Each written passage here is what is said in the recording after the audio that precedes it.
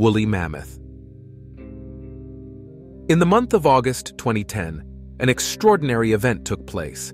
A historic voyage that distinguished itself from all others, occurring in the icy reaches of Siberia where the ground remains frozen perpetually, and temperatures reach extreme lows. Amidst this frigid expanse, a team of experts made a staggering discovery that challenged all credulity. They stumbled upon the remains of a woolly mammoth, which is like a huge, shaggy elephant, but this one lived an astonishing 39,000 years ago.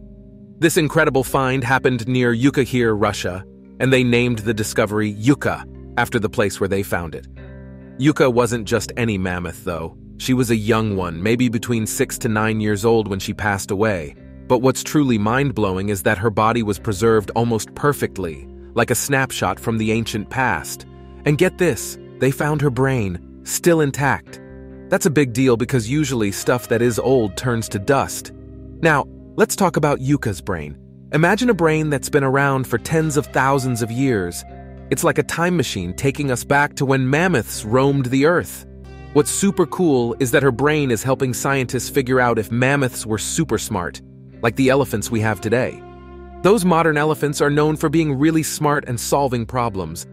Before Yuka, people only found bits and pieces of mammoths, but she's like a treasure trove of information. Her brain is giving scientists clues about how mammoths might have thought and behaved. They're wondering if mammoths were thinkers, like the smartest animals we know today. Think about it. Yuka's brain is like a window into a long lost world, a world where these giant creatures lived, and now we can peek into their minds a little bit. Researchers are working really hard to learn everything they can from Yuka's remains.